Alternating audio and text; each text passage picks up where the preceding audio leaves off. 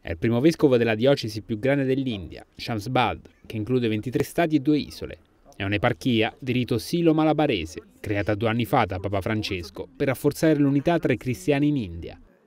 La diocesi di Monsignor Raffaele Tattil ha anche un'altra missione, prendersi cura dei migranti e dei più sofferenti, non solo all'interno dei confini indiani. Infatti, molti membri della diocesi sono andati in Iraq per soccorrere i cristiani di questo paese.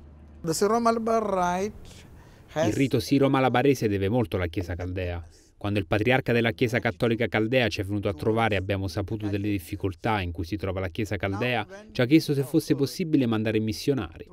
Così abbiamo accettato e abbiamo mandato un gruppo di preti e un gruppo di suore per prendersi cura delle necessità della Chiesa caldea.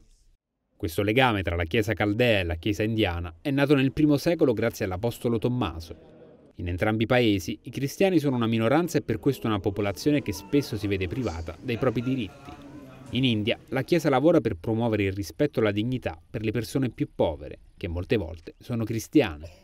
Il sistema delle caste può sembrare una cosa del passato, ma la mentalità classista non lo è affatto.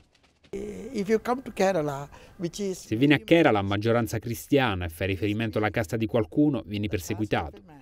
Qui è presente un sentimento di eguaglianza, probabilmente grazie alla presenza cristiana.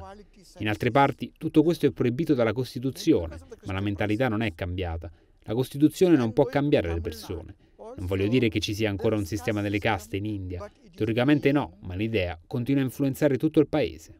In ottobre i vescovi indiani hanno partecipato alla visita ad Limina a Roma. Il Papa ha assicurato la sua volontà di poter visitare l'India un giorno. So we are excited.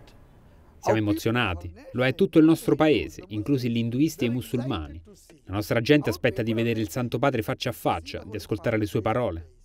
Monsignor Tatti ricorda questo momento come un incontro familiare, nel quale Papa Francesco ha avuto un dialogo sincero e aperto con loro. Una visita del Papa in India sarebbe un segno di speranza per la minoranza cristiana, che conta poco più del 2% della popolazione di un miliardo e 340 milioni di persone, a maggioranza induista.